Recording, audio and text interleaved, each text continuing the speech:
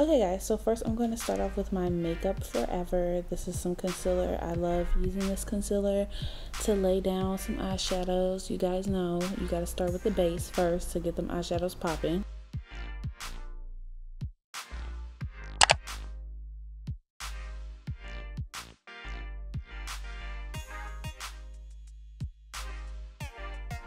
So then I'm going to show you guys, I'm using this little kit from um, Profusion.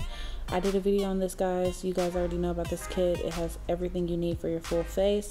So I'm going to take this eyeshadow and I'm going to pop that right um, under my eyebrows into the crease. Transition, kind of help make everything lay down smooth.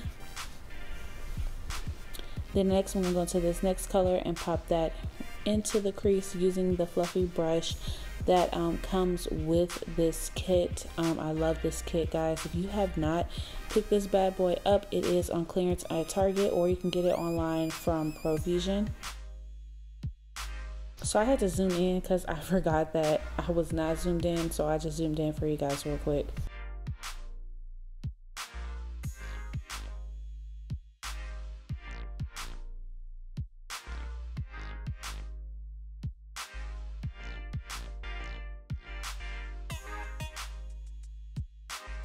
Okay, so now I'm going to take the Chocolates palette from Profusion also just to kind of bang out this look. And I'm going to use this green shade here. Um, I love this palette. I like this whole collection that they did and all of their eyeshadows are really, really smooth. And this green shade is really pretty. So I'm just going to take that onto the lid and then you're to see me pack that into the crease and there is a ton of blending in this look. Um, so I'm using the same brush this is a MAC brush. It's like an eyeshadow brush from MAC and I'm just packing it into the crease and then blending it out. Then I'm to go back with that um, blending brush that I used earlier with that same like rusty orange color to kind of help blend the edges. So once again guys blend blend and blend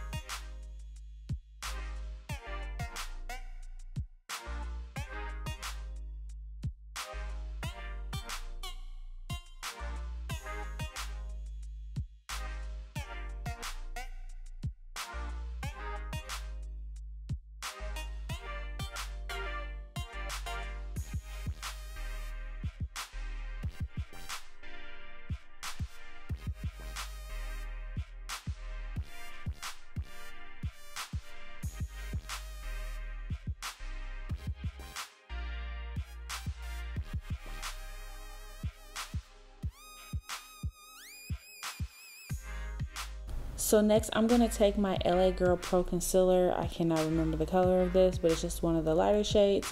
Blend it out with my finger and then I'm going to take this really pretty sparkly shade that's in the same chocolates palette and I'm going to place that on top. The concealer is just to help make the eyeshadow pop a little bit more. Then I'm going to take that same green eyeshadow I used before and I'm going to place that on the outer edges of the um, sparkly eyeshadow just kind of help blend the edges using your finger for that glitter shade will help you know get that shadow on a lot more and it goes on a lot smoother So I'm taking the brush from the Chocolates palette.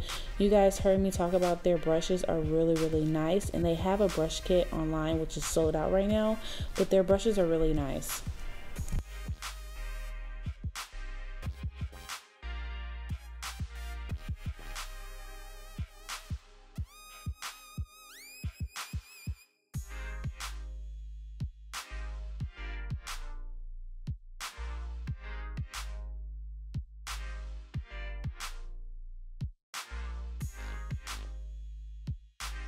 Okay, now it's time for the face, and I had to use one hand because I have Zara in the other hand. That's who I was talking to throughout this whole video. So I'm going to take some of my primer. This is my Shea Moisture Primer. It's a mattifying primer. I'm going to use that. And then I'm going to take my Becca foundation. Um, I'm going to squirt some of that on my cheeks. And because I'm working with one hand, guys, just bear with me in this video. Just gonna go ahead and blend that out. This i'm using my real techniques brush. I am a brush girl when it comes to my foundation versus a sponge. I just like to get a fuller coverage with my foundation most days. So if you're a sponge kind of person you can use a sponge but i love to use a brush and this is my favorite brush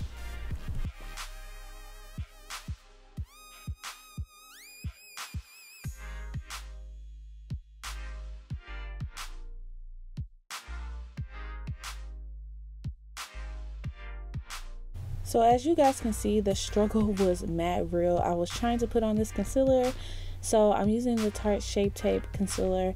And then I'm going to go on top of that with my Maybelline Better Skin Concealer. Um, I just like both of them together because one has a more yellow golden undertone. And the other one is a bit more natural. So I like to mix both of them together and then I'm going to just use a nice little buffing brush from e.l.f. to kind of blend those out. All my sponges are dirty so I'm going to use this brush. It kind of gives me the same effect as a sponge.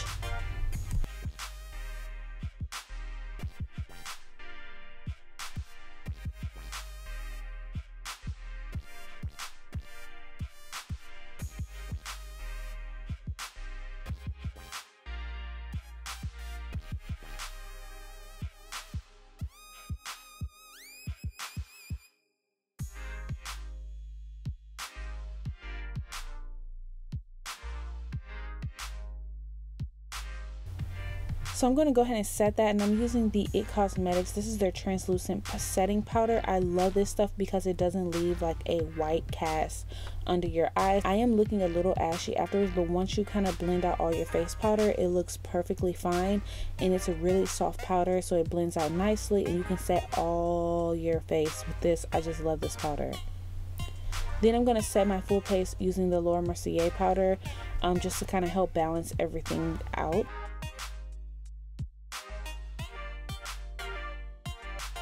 Now it's time for contouring and I'm just going to show you guys I'm contouring my nose. I do contour the rest of my face but I really contour my nose a lot. And now it's time for blush using my favorite blush from MAC. This is Raisin.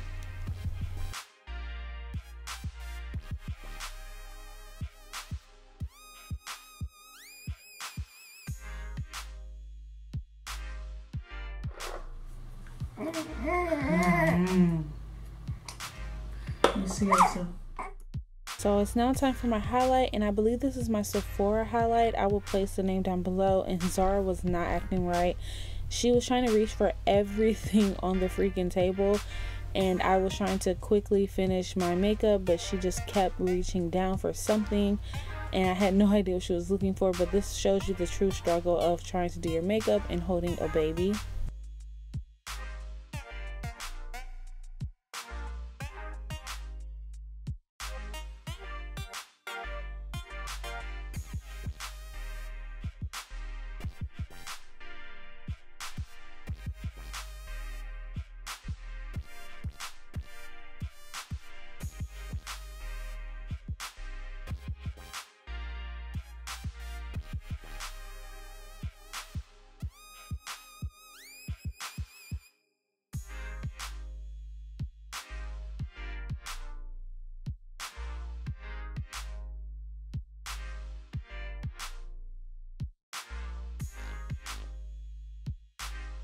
So I'm taking that same highlight shade and I'm placing that in the inner corner of my eye and then I'm going on top of that with some of that eyeshadow that I placed in the middle of my eyes um, on the lid just to kind of give a different effect.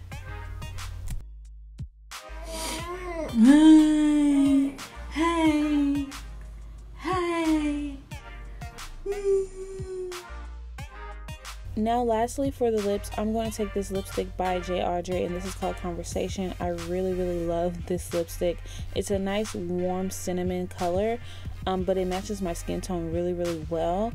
And then I'm going to take on the outer part this NYX Liquid Lingerie lipstick. Um, I'm going to put the name down below because obviously I don't know none of the names of anything today.